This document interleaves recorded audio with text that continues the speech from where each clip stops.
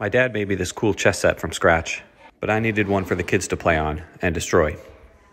I found a table like this one in the returns section of IKEA. So I bought it for nothing and put some glue on the bottom so it wouldn't wobble.